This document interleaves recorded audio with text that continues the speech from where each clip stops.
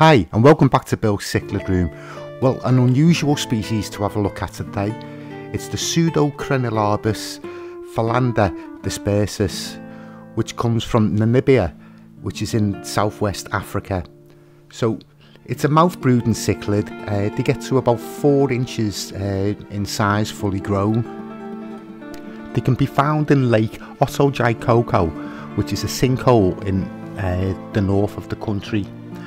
The common name for them is the blue-lip cichlid, so they're very similar to the Egyptian mouth brooder, the multicolour. So the care for them is pretty much the same.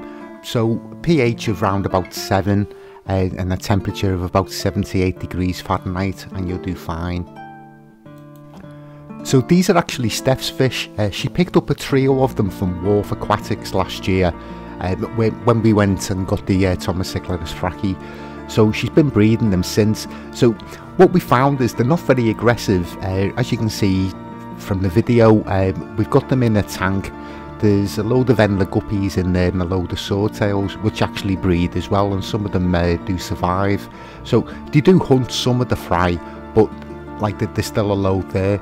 So it's best to keep them in a trio if you can. So this is the male, uh, as you can see, uh, with the big uh, blue lips, and like he does breed with both of the females. Um, so we've got one of the females is actually in the net in the tank at the moment. Um, so with them being mouth brooders, like we're just waiting for it to uh, to drop them out and then put it back in the tank again. But it looks like the other female is actually holding as well at the moment. They've not been evaluated for the red list of threatened species, but they are thought to be threatened uh, by habitat changes.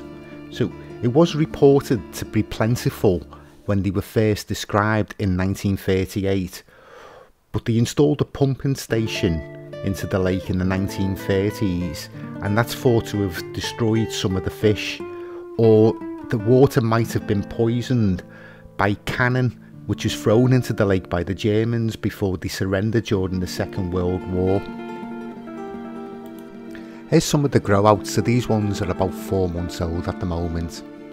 Well, that's about it for this week. Hope you enjoyed the video. Hope to see some of you at the Northwest Cichlid Group auction next Sunday. And if not, I'll see you all on the next one.